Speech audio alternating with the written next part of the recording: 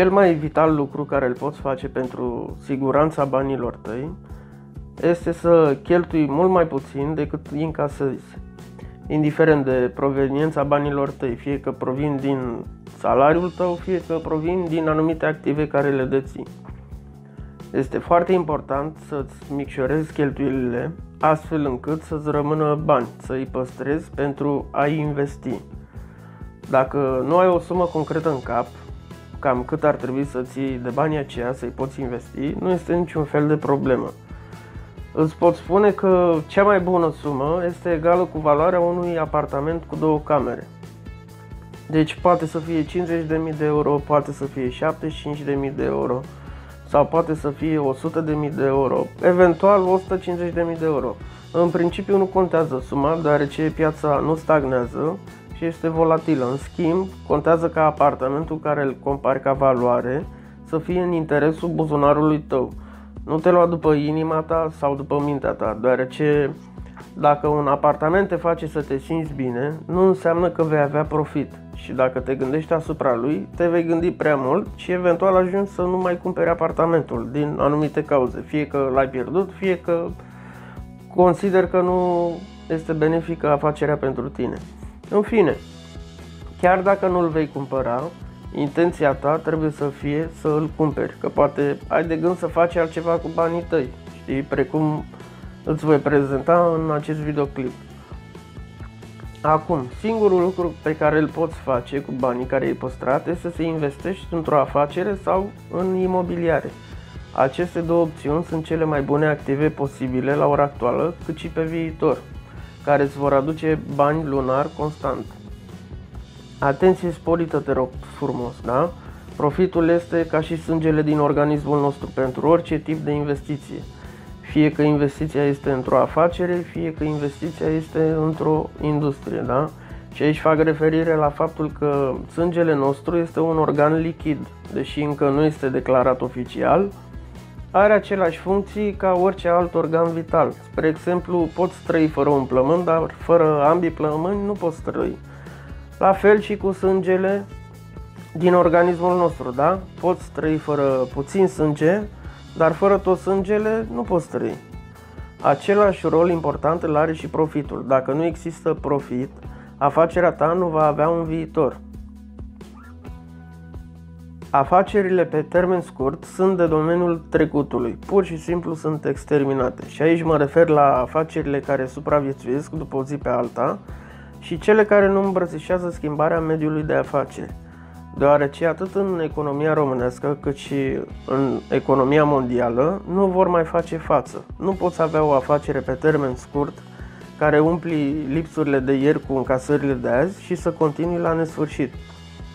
Acest tip de afacere este ca un vapor care are o gaură în mijlocul lui și evident că apa va intra, iar mai devreme sau mai târziu va ajunge sub nivelul apei, da?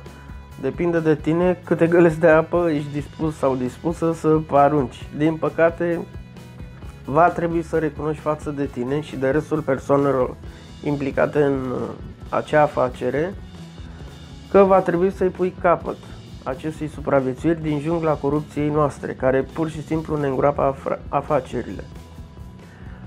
Ceea ce Warren Buffett a înțeles și a făcut diferit în antreprenoriat față de mulți antreprenori este comportamentul său față de clienți și angajați. Lucru care a fost preluat și de fondatorul Alibaba.com, Jack Ma. Da?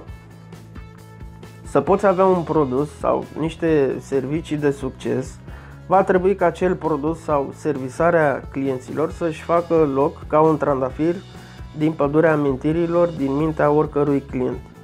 Adică acel produs sau acea servisare să fie o amintire plăcută printre miile de amintiri ale clientului în cauză. Iar aici îți pot da două exemple concrete. Țin să precizez că ambele exemple se bazează pe simțurile omului și anume gustul și mirosul.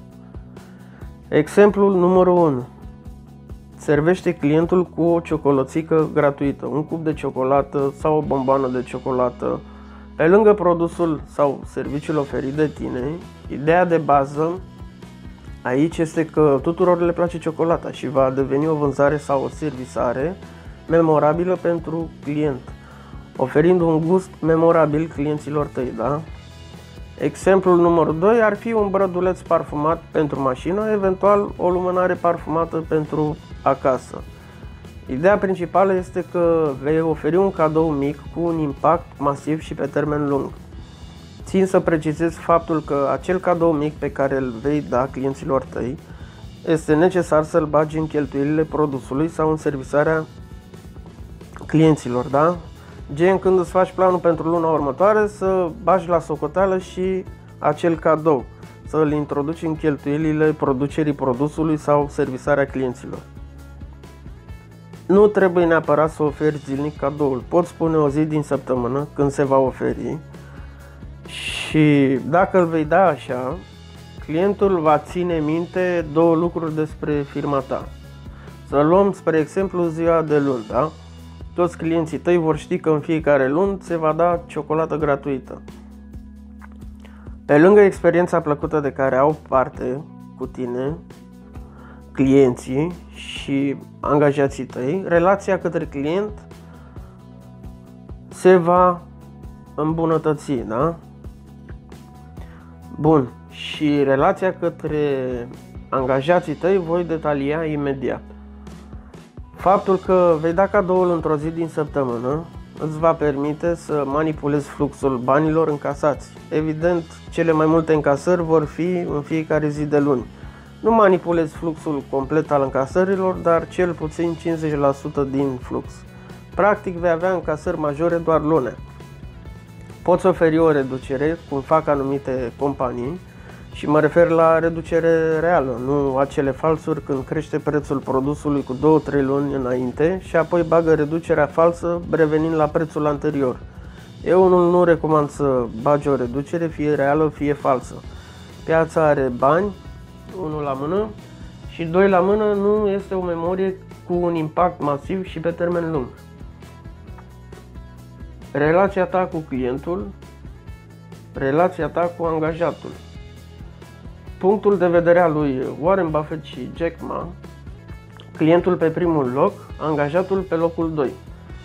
Relația ta cu clientul trebuie să fie aceeași atenție și implicare cu atenția și implicarea care le oferi persoanelor din viața ta de la care te împrumuți de bani. Gândește-te cum te comporți cu acele persoane și ce fel de atenție acorzi de la care te împrumuți când ai rămas pe zero, fie că este un prieten, o prietenă, o rudă sau un membru din familie, da? Același tip de atenție și același tip de implicare necesită să o acorzi clienților tăi, atât tu cât și angajații tăi, identic. Relația ta cu angajații Warren Buffett este cunoscut că evită conflictele și ironia. El nu dă ordine la angajați și colaboratori. Iar când ei greșesc, îi iartă și aici mă refer la angajați, nu la colaborator, da? Îi iartă prin educație. Bun, când uh, îi spune la angajat să facă ceva, Warren Buffett uh, recunoaște faptul că lumea antreprenoriatului nu este armată și el nu dă ordine. Îi spune printr-o sugestie, omul gândește de fiecare dată înainte să scoată o propoziție pe gură. Spre exemplu, în loc de du-te și pune cutia la locul ei sau pune și tu cutia la locul ei, Oaren întreabă, nu ar arăta mai bine cutia aceea dacă ar sta la locul ei? Oaren face sugestii prin întrebări către angajații și colaboratorii săi. Este cunoscut pentru faptul că pune foarte multe întrebări angajaților săi. Când vine vorba de greșeli comise de către angajați, el este absolut conștient că nimeni nu este perfect și preferă pe cineva cu integritate care își recunoaște greșeala din prima. Dacă are tendința să ascundă greșeala, Warren se întreabă oare ce mai ascunde? Declarația profitului, relația dintre el și restul angajaților, relația dintre el și restul clienților, etc. Depinde de funcția pe care acel angajat o deține, da?